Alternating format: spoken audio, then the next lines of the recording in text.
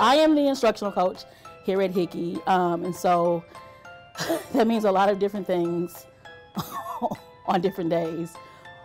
The my job is to uh, stand with teachers, partners with teachers, um, to assist them in giving kids what they need academically, socially, emotionally. Yeah, I'm a teacher. However you think.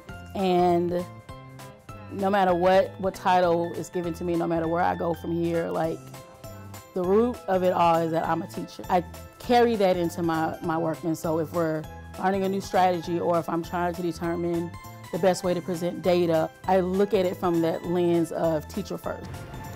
Performing at a 70 or higher. It's really easy to like just sit in a room and like talk about kids and talk about their growth, just looking at numbers.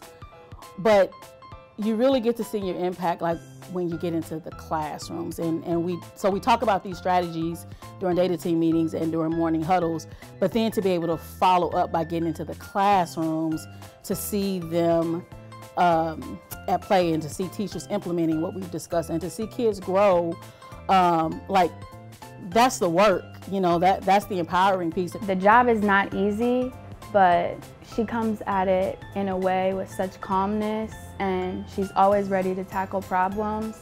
And personally speaking, like she really believes in me and makes me feel confident about myself and I think that helps me in the classroom. She is someone who has to wear a lot of hats. Um, as an instructional coach, she has to be a cheerleader, she has to be a data processor, she has to be a curriculum um, gatekeeper. I uh, she holds so so many hats in her hands, and she's able to seamlessly exchange those hats, and um, all in the name of doing what's best for kids. just that knowledge and knowing that I'm here for kids and everything I do is for kids. And so I support teachers so that they can uh, give kids what they need.